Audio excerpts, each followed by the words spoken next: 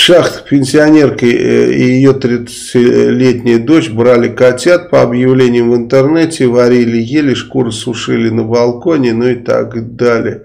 Да, я помню такой подобный случай. У меня был какой-то черт, звонил все время и говорил, что кабинет Мальцева заминирован. Потом его полицаи там с ФСБшниками схватили, э, обыск провели, а у него дома кошачьи тушки везде, там в холодильнике, в морозильнике, он кошек ловил и ел. Ну, это особую надо психику иметь. Южно-Сахалинске невменяемая женщина с утра долбила по батарее, а потом разошла дом костер. Потом приехали пожарные, выбили дверь. Потом приехала психбригада и сказали, что она нормальная, что ничего страшного, что она там пыталась квартиру взорвать. Короче, никаких мер никто не принял. Вот. И мотивировали тем, что человек опасности окружающим не представляет. Прикольно. В а, Нижневартовске глубокой ночью произошел пожар в отделении гастроэнтерологии. Пациент, поступивший с циррозом печени, поймал белочку, поджег матрас, в общем, пытался всех сжечь, потом убежать. В Соликамске мужчина облил бензином и поджег людей. Он и еще пять человек пострадали, трое в тяжелом состоянии. Гаражах бензином пытался пожечь. Нормальное явление. Надо сказать, что, помните, в Соликамске недавно только суд закончился, когда мужчина там в магазине женщину облил бензином и тоже поджег. Так что вот э,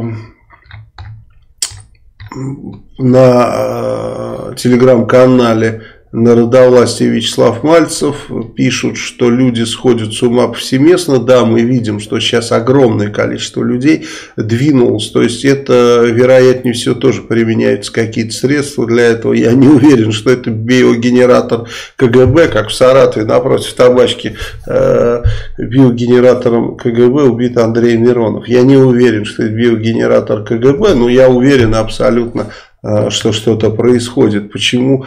Э, вот я вам прочитаю, то есть это есть, вы можете зайти, посмотреть на авторском канале Вячеслава Мальцева. 24.06.21 мужчина в Москве посреди улицы отрезал гениталии. 23.05.21 голый мужчина в Кирове отрезал себе причиндалы. 17.02 в Екатеринбурге мужчина посреди улицы отрезал себе ухо. Ван Гог такой, да. В 21.01 в Николаевской области сын отрезал отцу гениталии. Но это как бы не из этой серии. Да? 22.10 в Саратове пенсионер отрезал себе член. Астраханец, выйдя в поле, отрезал себе гениталии. А, ну и так далее. И вот москвич еще тоже отрезал себе гениталии. Мы видели, там в Мариной роще стоял вот такие вот вещи происходят. Мы видим, что количество душевно больных гораздо больше статистику, чем было. Статистику мы, конечно, не получим, но я думаю, что скоро будет, будут переполнены больницы. И вот то, что не взяли женщину, которая подожгла дом, да, и сказали, что она для окружающих не представляет опасность, говорит о том, что, скорее всего, психушка там переполнена. И скажет, ну и нафиг, лучше не везите. Слышали новость, жительницу Самарской области оштрафовали за крики при избиении мужем. Но это не новость, мы говорили об этом, это оштрафовали-то ее, наверное, еще в феврале, а избивали-то ее еще в 2020 году в мае.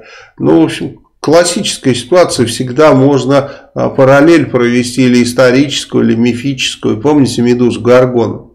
Помните, почему она стала такой страшной -то? Есть она была прекрасной девушкой была там э, жрицей Афины, да, а, и Посейдон решил ее изнасиловать, но по одним, ну, ловите метаморфозах, он там в птицу в какую-то превратился, не помню в какую, а в других вариантах мифов он конем стал. И вот прям в храме Афины он ее и отымел, а она при этом кричала, естественно, ей сильно не нравилось, а Афина э, подумала, что это осквернение ее храма, да еще она так стонет и просит помощи, что она взяла ее вот в такую страшную превратила. Так что такие параллели все время э, как бы в жизни есть, да, то есть вот женщину избивают, в результате ее же оштрафовали, чтобы она не кричала. Вот.